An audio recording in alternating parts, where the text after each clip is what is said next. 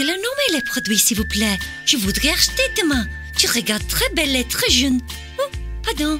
Madame, could you tell me what product this is, please?